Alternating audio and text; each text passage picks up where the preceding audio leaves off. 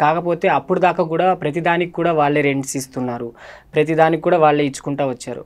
నాకు అనిపించి ఎందుకు మళ్ళీ ఇంట్లో అడగడం అని అనిపించి ఒక పర్సన్కి కాల్ చేసి అడిగాను.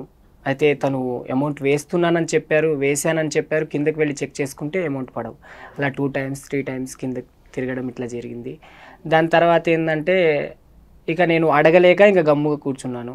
కూర్చున్న టైంలో నాకు ఒక షార్ట్ ఫిలిం ఆఫర్ వచ్చింది. అది నార్మల్ క్యారెక్టరే. రొమాంటిక్ షార్ట్ ఫిలిం అది.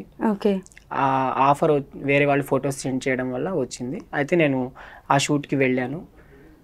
డైరెక్టర్ కూడా అప్పుడు ఏమన్నారంటే ఫొటోస్లో ఒకలాగున్నావు ఇప్పుడు రియల్గా వచ్చిన తర్వాత ఒకలాగున్నావు అన్నాడు. ఎందుకంటే మనం ఇక్కడ టూ డేస్ కూడా తిన తినకుండా ఉన్నాను. ఉన్న టైంలో అప్పుడు ఏంటంటే డల్గానే ఉంటాను అప్పుడు. ఇక తను అన్నాడు నువ్వు ఏం చేస్తావో ఏమో ఫొటోస్లో చూస్తే ఒకలాగున్నావు బయట చూసేసరికి ఇంకోలాగున్నావు నువ్వు చేయలేవేమో అది ఇదని కొంచెం అనేసరికి నేను అన్నాను. ఒక చూడండి మీకు నచ్చితేనే చేయించండి లేకపోతే లేదు అన్నాను. ఓకే వాళ్ళకి నచ్చింది. నాకు అది చేసి షూట్ కంప్లీట్ అయిన తర్వాత ఫస్ట్ రెమినేషన్ ఫిఫ్టీన్ హండ్రెడ్ ఇచ్చారు ఆ షూట్కి.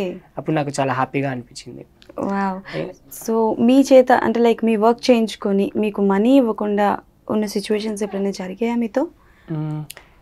మనీ ఇవ్వకుండా అయితే ఎవరు లేరులే కానీ కాకపోతే కొంతమంది ఫ్రెండ్ సర్కిల్లో కావచ్చు ఇలా నేను ఒక షార్ట్ ఫిల్మ్ కావచ్చు లేకపోతే వెబ్ సిరీస్ కావచ్చు ఇలా చేస్తున్నాను. కొంచెం లో బడ్జెట్తో చేస్తున్నాను. కొంచెం జస్ట్ సపోర్ట్ చేయండి. అది ఇదని సపోర్ట్ చేస్తే. చేస్తున్నారు. చేశాను.